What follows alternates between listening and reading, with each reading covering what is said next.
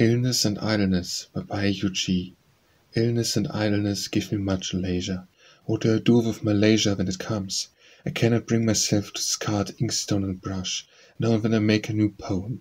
And if a poem is made, it is light and flavorless, a thing of derision to almost every one. Superior people will be pained by the flatness of metre, common people will hate the plainness of the words. I sing it to myself and stop and think about it. The Prefects of Soochow and Peng Tse would perhaps have praised it, but they died long ago. Who else would care to hear it?